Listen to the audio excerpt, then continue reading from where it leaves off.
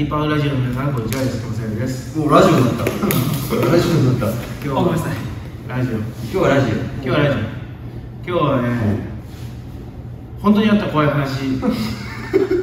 新企画すぎる。急すぎだよ。路線変更が。うん。本当にあった怖い話。怖い話。うん。でどういう充実のですか？あいやいや本当に本当にあった怖い話。普通に怖い話。マジの怖い話する回。なんですねうんやっぱその怖い話の一つも持ってないよりははい。黒帯にはなれ。ない必須条件。商談審査も兼ねてはい。じゃあ結構大事ですね今回の回僕らにとっては。うん。あの あの結構ねランクがあるから A ランク B ランクあー。C ランクで A ランクは心霊系。あは心霊系は結構評価高い。いうんなるほどで評価 B は人間系。ああ人間系。人コア。はい。人コア。人コアは誰でもあるから。そうですね。で C C 病気系。あまあ食中毒とか。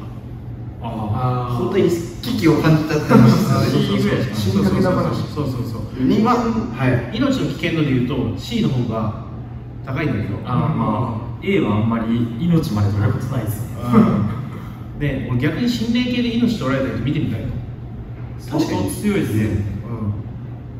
怖い話で命が危ないとかよく聞くけどうん。実際周りで死んだ人いないですよそれで。確かに。うん。呪音とかじゃないと死なないですねだから。そうね。あるんですか？心霊系？心霊系。心霊系が俺なんか B プラスぐらいの話しか持ってない。あ半心霊ってことですか？あーちょっとそういう感じ。土地のものみたいな。土地のもの。へ地場にある地場くれまあ、ジバニャンジバニャン。ジバニャン。ジバニャン。うんジバニャン系。あ自分ちょっと思い出した。岩崎さんの持ってる話割となんか怖かったですね。えなんですか？土地のものです。土地のもの。土地のもの？あの俺昔さ、はい。あのーそれあのまあ名前は伏せるけどある道場で働いてたの。うんはある道場で働いてたの。でねそこで寝るとそこで睡眠しようとするのよ。い。はで、えーなんか結構その朝とかも働かなくちゃいけなくて結構夜までそういう人が長い日はそこで泊まって寝てたりするんだよ。いあはい。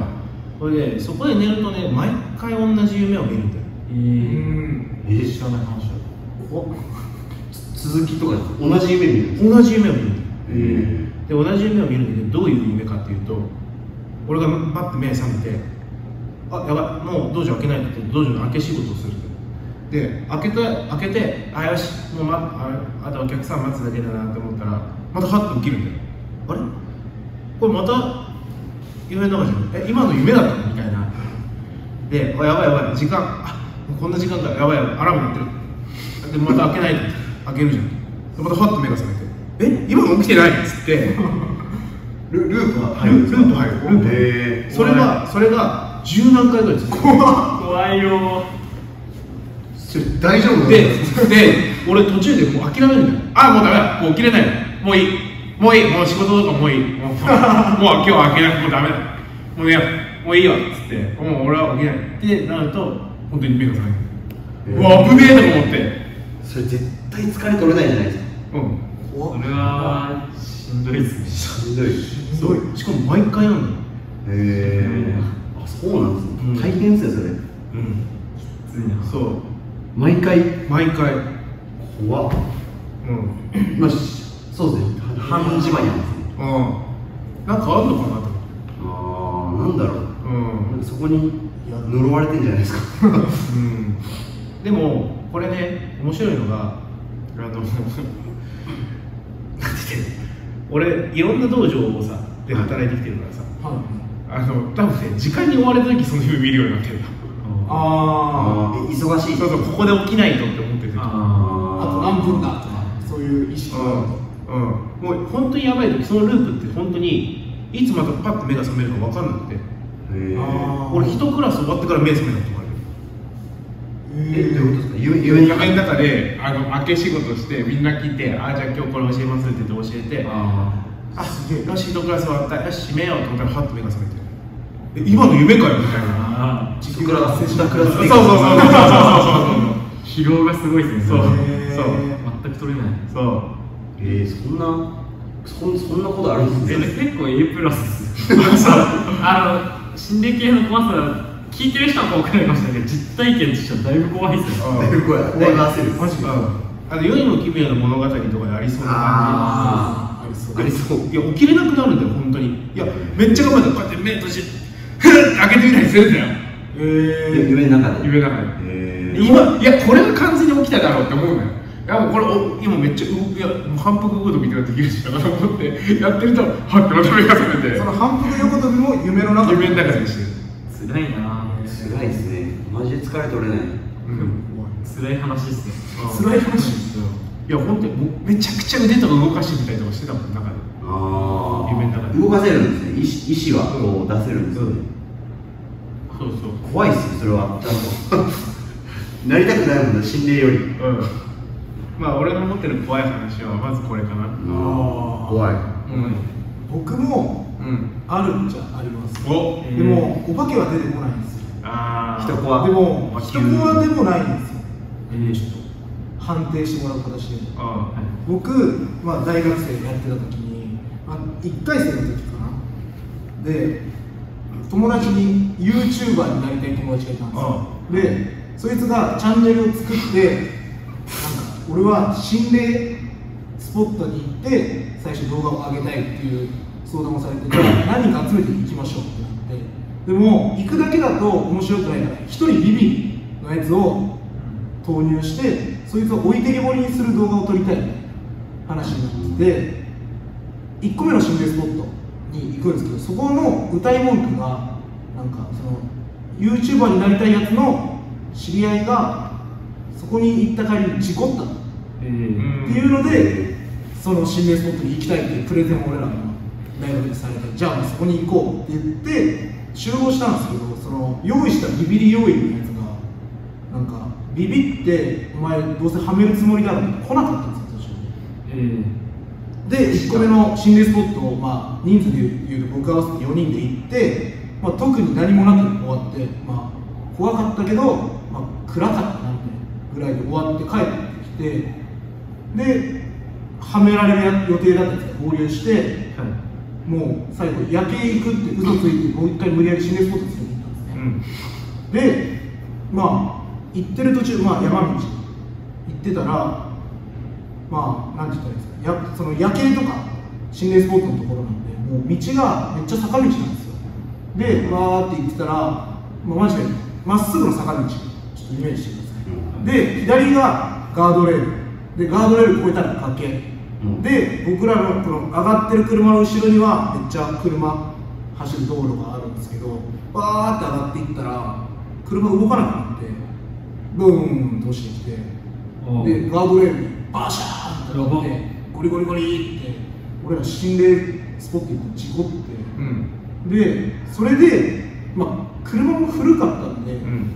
まあ、JAF とか呼んでまあいろいろなんか話聞いてたらそういう車の事故あるっぽくて、ん。なんかそういうタイピングベルトみたいな、うん。よくわかんないやつがぶっ壊れてたら、はいはい。そういう止まり方になるからまあ車も古いしそれでしょう、うん。っていう話を僕の友達がそれで電話してで終わって後日だったんですけど、うん。車修理に出したら全く壊れてなくて、うん。なんで止まったかわからないまま心霊スポットの帰りに死にかけました。おそれ心霊っすよ。それ心霊や心霊えええやな。しかも別の友達が。あそうそう。しん YouTuber じゃなくて運転手のやえー。つの車で行ってたんですよ。えー。ま、前のや違うやつの止まってんでしょそこでなんか車故障してあそうそうそうそうそうやば。なんかあるでなんか、うん。うわーってなりました。えー。でもちょっとわからないので、その友達その修理されて戻ってきた車を自宅の車庫に入れようとした時にぶつけてたらしくて運転が下手なだけの感あーなるほどね。なるほどね。僕ワンチャン死にかけてるじゃないですか？結構俺はもう後部座席うん。乗っててあ俺はもう死ぬんだ。と思って崖に行くんだ。こうやって覚悟を言ってくれましたええー、面白いね。怖いっすよ。面白いかもう面白い。怖い。ちゃんとええ話があっていいね。うん。ダメだなと思いました。怖っ今の黒毛あげる。そうそう。黒い話もうまかった黒い色うんえ他ないのなんか僕高尾山の話あって。ああ。え高尾山ってあのめっちゃ低い山だっけ？あそうですうん600メートルぐらいの東京のミニ山ね観光地うんですね。おおじいちゃんおばあちゃんが行く。うん。なんかなぜか夜急に登りたくなって。それで何時だろう？7時ぐらいに向こう着いて7時半ぐらいから登り始めたんですね、でその時もう一人一人でん。登ってて、真っ暗でライトもなかったから目に慣れるまで一回待って暗闇で。えななんで一人で高尾山登るの？えなんかテレビでやってて、う行きたいなと思って行ってみた夜に？はい。夜に？なんか次の日予定やって今行きたくて。あそう ちょっと多分その中だったんですね。でなんか夜行ってみてそしたらまあもう誰もいないんで一人でバーって上がってって。それで山頂着いて2時間ぐらいかかって23時間ぐらいかかって山頂着いてその時って多分10時と11時とか。で登ってる人いいんじたちょこちょこいるんですよ、なんかこうナイトハイクみたいな感じで、その時多分本当5人ぐらいはあったっす。割といるっちゃいるんですけどそれで登ってってなんかテンション上がってそこで。めっちゃ夜景綺麗で友達に電話して「今高尾山の山頂にいるんだぜ」みたいな。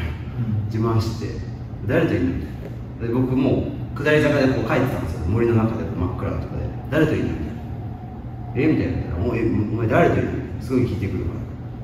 なんかいやあのい適当になんか嘘ついた。なんかその変なテンションだったから。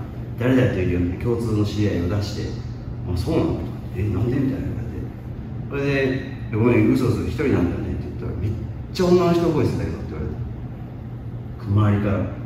それで登ってきた山2時間登23時間2時間半ぐらいだったんですけど40分で下って帰ったんですよ。怖いダッシュで。怖い。このこの話の中にどこが一番怖いか分かる？一人で夜にこのすれ違った5人の人間と辰之助はみんな北前進だ。じゃあ早いですよ僕選手高尾山2時間だったら蒲田にあるんですか？こうやって「あ。こんばんはこんばんは」って。全員それ蒲田全員それかも。で福前四四さんはちなみに大盛りっすかって あれは AACC とか何そういやなんか蒲田で思い出した。んですよなんか達くんの家の近くにバカでかいなんか日蓮宗でバカでかい神社があお寺あるんですね。あれ力道山のお墓？あるんですあるんですある多分なんか一回僕ら3人で行ったんですよ、うん。でその時に写真撮ったらとんでもない量ああー。えあってたえ大だらけだった写真怖がってなった覚えは今思い出しましたあそこでも結構桃音とかあー本門寺っていうんですけどえあそこのとこに中学があるんですけど、ん校庭が墓に埋まってるみたいなところなんですね墓場の下に校庭あってそしたらなんかその辺からこうまあい今そんなことしないですけどまあ中学生の時とか入るじゃないですか、うん。校庭とか、うん。夜中に、うん。こう深夜1時とかに友達となんか入ってみるぜとか言って。入ると何も誰もいないのにこう置いてあったポリバケツでっかいあのゴミ捨て場のやつがなんかバーンって倒れたりとか、うん。これなんかよくあったっすね、結構怖い、まあ、怖く僕見たことないですけどうね、ん。物音とか、わけもないうん、なんかなんっていう。マジ全然ない。そうか。病病気系とか。うん地元がど田舎なんですよ、うん。埼玉の結構北の方のすごい田でも田舎なんですよ、うん。群馬みたいな感じで、で自分高校生の時21時ぐらいまであのその高校があるうん。町の予備校行って、うんうん。それ終電に近い電車でいつも帰ってきて、夜12時ぐらいに家までバーって行く時に、まあ、結構暗いんですよ。でなんか暗いんですけど横にもうへスーパーがあって夜真っ暗なんですけどそのスーパーの駐車場から暗い中チャリこいてたらバーってなんかめちゃくちゃでっかいなんか動物がバーって走ってきてでなんか でっかい犬かと思ったのうん最初。なんかもう本当にほんんなさウルフハウンドみたいなさうわやべえ食われる死んだと思って。これぐらいの距離来たらほんとほんとこれぐらいの距離来たら鹿で。へえ。うわ鹿じゃんガチ野生の山の方に走って。へえ。で、およかった。わーみたいな。のが一番ビビったか。ら実際それも遭遇したら多分トップレベルに怖いですから。そのまあそう本当に3秒ぐらい死を覚悟しそうですよね。でもそれぐらいですなるほど。それが後の男主だ男聞いたこと男主男主デイダラボッチデータラボッチ。デイダラボッチえあれ聞いたことある。データラボッチ。あナウシカのでかい鹿みたいなえっ、とねあれ？男主って物のけ姫だっけ？あもののけ姫の わかんない。調べて。聞いたことはある。あれなんかこうなってるやつ。男？どうし男主。男主。女主はいないから。女主ね。女主と男主。じゃあよせぐゆ主もいないですじゃあ俺最後にじゃあ心霊系で締めようか。えもう一本あるんまだあるすがマジっすかまだあですかちゃんと心霊なんですかそれは？るうんまあね多分ジバニャンじゃなくて？ジバネじゃない。へちょっと充実も関係してる。えマジっすか、へちょっと聞きたいです。なんか俺さあの15歳の頃にあの親父が死んでて、はい。交通事故で死んじゃったの。はで俺その親父が死んだ日に会えてないのうん。いあそうその前日にあのちょっと話してもう死んじゃってたへ起きてたらだから結構鮮明に覚えてるのがまああの俺その時からちょっと充実を始めた時ぐらいだったんだよ。1ヶ月経ってないぐらいだったかな。これで俺それであのなんだっけ夜充実行こうと思ったら親父がそのなんかタイのお頭かなんかのあの味噌汁作ってくれて。うん。タイで。そうそうそう。で食うかって言われたんだけどあいらないっつって俺あのタイのお頭の味噌汁好きじゃないんだよ。うん。であので最後俺がこう家出て行く時に「呪術頑張れよ」って言われてそれが最後。えうわきついなそれ。それで俺次の日あの、えー先日そのその時の先日にあったあのヒーローズのあの BJ ペンの試合を見てたと。あヒヒーローズそうそう。そうそうそうそうそうそうそうでそれ見ててなんか親父が最後そのあなんだったっけえーっとえーもう定年だった定年退職目前だったうんでその封筒を出しに行って行った時に事故に遭って死んだのへえうんそうそうでだから俺が最後に親父から聞いたのは「呪術頑張れよ」っていうだけ。急だったんですね。うん。でそれでなんか俺まあそれでまあそれがあって充実を頑張ってたっていうのは多分違うと思うんだけどまあそれしかなかったからやってるだけ。充実しかなかったから。でも大会に出始めたあたり俺結構青瓶の時全然試合出てなくてさ。あー。あ最初のそうそうそうそうそう。紫帯ぐらいの時からどんどん試合で始めてで初めてアジア選手権かなんか出た時かな。はい。なんか前日にそのタイのお頭をが出される時の夢を見た。へえ。当時のですか？いや全然同じ部屋なんだけど同じ家なんだけどなんか俺が目覚めて家から降りていったらなんか朝みたいな感じで。で当てられる部屋ってさそのなんで模様替えするからさ位置変わるじゃん。はいはいはい。でもその当時のままえの配置になってて、あそうなんだ。そうそう。ほったら親父が「あの味噌汁食うか?」って言われて「あじゃあ食べるよ」っつって食べて。おで食っててで「あ俺そういや今日試合だからもう行かなきゃ」っつって。であの「ドアあっちだからあっちから出ろ」って言われてそのなんて言ったらいいの？玄関じゃない方のドアを刺されて。へうんうん。なんか小倉口みたいいやなんかあのよくあの犬があの庭に出ていく網戸から出てきて。へえ全然違うとこから。そうそうなんでこっちから出されたんだろうなと思ったんだけどちょっとだけ食ってあじゃあまたねっつって出ていくっていう。へで試合がそのなんか重要な試合になるたびにそういう夢をちょっと見るようになって。へうん。え送り出してくれたやつね。そしたらでチャオビのなんか確かプロ充実かなんか出た時最後の試合。チャオビ最後の時の試合ね。はい。の時に全然風景が違ってて駅だったの。駅。で駅でなんか一緒に電車乗ってたの。お父さんと、うん、でなんかそのなんていうの？なんだなんでかわかんないけどそういう夢見ると真っ白なの。なんか。朝なのか何なのかわかんないぐらい光入ってて。あ周りの風景が見えない。んだよだからどこなのかよくわかんない。んだようん。でもまあ電車乗ってんだよ。でそしたらその、まあ、各駅でこうね電車が止まるの。でなんかなんでかわかんないけどそれその駅の向かう先が加古川っていうところで。はい。兵庫県。うん。はい。うん。でなんかその付近に来たら親父がなんか立ち上がって「あじゃあもう俺そろそろ降りるわ」って言ってなんか立ち上がって「まあもうお前大丈夫だろ」って言って出てっちゃってでそこからもう夢見なくなっへえへえもういいだろうって言ったんですそうそう。そう。あそれ心霊だけどこうちょっとーめっちゃいい話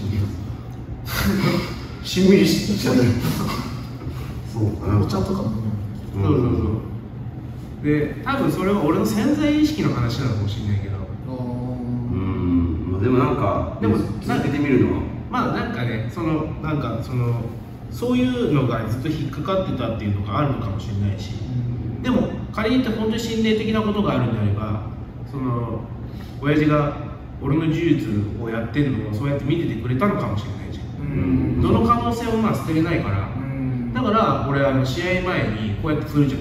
ああれはもう夢見なくなったけどまああのそういうまあ俺墓参りもほとんどしないからさ。だからあれは別にその神頼みとかそんなんじゃなくて単純にそのお前日みたいな。ああそうだったんですね。そうそうそうそう。へそうそう。だからやるのここれをやってるのはそういうことだと。ああなるほど。しんみりするじゃないですか。怖いな苦笑いさなんなんですかそれ？じんわりしでもちょっと心霊でしょ？まあ心霊だけどいい方の心霊じゃないですか。だからまあそういうこともあるってことだな。あうん。そうそう。実は。ーなんかしうん。そうか。うん。全然じゃあ、はいうーん。まあちょっとしんみりになっちゃったから。まあちょっとあのとっておきの。とっておきの。時はまだあるんですか。とっておきのやつを。あるんですか？まだ残せて何の話してんの？作業作今業26分作業の BGM として聞いてくれれば。うんあれ優秀な優秀なこれなんかやりながら。聞いてもらって虫作りながら。そうだね。えっとね。あちょっとじゃあそれ一個ちょっと変な話挟んで。あいいよ。僕初めてちゃんと落ちた時の話で。うん。うん本当にこれ全然持ってないんですけど、まあ、ビデオに三谷にいた時入った入った時になんかこうなんでルループチョークかなんかあ入ってまだ動けるまだ動けると思ってたら気がついたらなんか地元の川の土手でブランコこいてたんですよ。すごい。空が虹色で ああ気持ちいいなと思って。虹色？そう虹色でこう土手の上でブランコこいてそれでなんかなんかこう視界がバーッバーッつって揺れ始めてこうやってうわっつって目覚めたらあのエリック。うんエリック・メネギンがうん「てっちゃん起きて」っつって。あ怖かったあれはでも。えあ俺それ覚えてるよ。覚えて。ますクラス中だよ。クラッシュですへー白帯の時に思いっきり落とされて、うん。そうそう。いびきかいてた。でもなんか不思議とあれすっきりするんですよね、うん。起きたら。で起きて俺いやブランコ入れました 言っちゃいますよ。ねああ言ってた言ってた。もうなんかこれ全然持ってなくて、っていう、まあ、あのシショートショート話。俺もじゃあショート話。僕あの弟がいるんですよね、うん。2人。で、えー僕長男で三男の方がちょっと前にちょっと前か1年前かに前十字靭帯切れたんですよ、うん。試合で。はいラグビーの試合で前十字靭帯切れたんですけどその時の対戦相手めっちゃ強い高校うん。なんですよ。大阪で、まあ、その弟の高校とその高校と、まあ、もう一個ぐらいで派遣争いしてるみたいな、うんうんなんですけどその弟の試合の、まあ、多分3日ぐらい前になんか夢で弟が前十字靭帯切れてリビングで足をこうやって「負けだ」って言ってる夢を見て、ああなんか珍しく膝怪我したんだなと思ってたら膝怪我しました。ええそれ予知夢予知夢ですね。うん。よかったね。今結構今やっと復活して頑張ってます。ええそれは結構なんかなんすごいですねなんか。自分結構弟が試合の前に怪我すんなよって言うんですよ。うん。でもその時ちょうどなんか多分自分の試合前かなんかとかでその時の弟の試合しうん。怪我した試合の時に怪我すんなよって言言えてなかったんですよね。あだからそれがあるから今もう毎毎試合ごとに怪我すんなよって言ってます。あ言霊。や言霊だ。それもあるなへえどこがいい。すごいな。なるほどね。夢って怖いな。そうね。怖いっすよ。怖いね。夢系はね。そうそう。さっきの話みたいにいい出方する場合もあるけど。うん。夢系怖いな。もう俺試合前にねあのホラー映画見まくるのめっちゃ好きなんだ。よ言ってましたね。試合前はもうホラー映画しか見ない。それなんでなんですかそれは？えなんか悲惨な死に方する人いるじゃん。そういう系のホラーある。ああるじゃん。貞子にこうぐちゃぐちゃにされてるのがいるじゃん。あああいうの見るとまあ試合でこんなことにはならねえなあそうそうこんなことやならない。うん、うん、安心するんですねそれちょっと。あのなんだっけ？あのー、俺ヨーロピアン2018年ヨーロピアンで銀メダル取った時も、あの前日にあのー貞子 VS ああカヤコ。カヤコ見てた。バトル映画みたいなやつですよね。あそうそうそうそうそう。もう最後ぐちゃぐちゃになってさ。うん。うどっちの呪いが強いかあそうそうそうそうそうそうそうそうそう。へあったなそうそうそうそう。なんかね俺ホラー映画好きなんだよ。特に邦画のあうん。洋画のホラー映画より邦画のホラー映画めっちゃ好きで、えもう見てないやつほぼないと思う。夢の木村俺一回見たあいらやあ面白くなく寝たなお前。そうでも僕らホラーにあのリカさんと僕苦手だから怖いから見たくないって言ったら見るって言い出して。うん。酒飲みながら飲み見始めて本当開始30分ぐらいで見始めて。そんなじゃあどうしたらいいんだよ ずっと流れてる。うん見たんだそう一応見たけどでもあんまり怖くなかったんですよね。あんまり怖くなくて。う俺もこれ見てああかんわこれって思って意識が遠のいていった。速攻寝てたんですね。うそれを覚えてるんですん。そうね。あれとっておきのやつは？ん？ささっき言ってた最後にとっておきのって。あいいよ。いいんですか？もういい。次回。うん。またいつか。ディープアップラジオで。うん。またいつか なんか次はそうだな。あの遭難系の話をするか。怖っそうなん大体したことなくないですかみんな。なんかブラジルとかで怖いこといっぱい起きてそうです。あブラまあブラジルは俺は被害に遭ってないけどあ目の前で人がいきなりリンチされ出すとかはあったよ。あ一番怖いなあの4人ぐらいに1人が押さえつけられてサッカーボールキックされてた、怖っ死んじゃうかな。う多分死んだんでしょうね もちろん多分死んだんだわその人。は人コアだん、そうだね。はい。楽しめたでしょうか。ぜひ試合前は怖い気持ちを思い出してホラー映画なのでまあこんなことにはならねえだろう試合はって思って試合すると楽ですよ。確かにな。ではまた。サブチャンネル始めました。SNS のフォローとチャンネル登録もよろしくね今日も最後まで見てくれてありがとう。バイビー。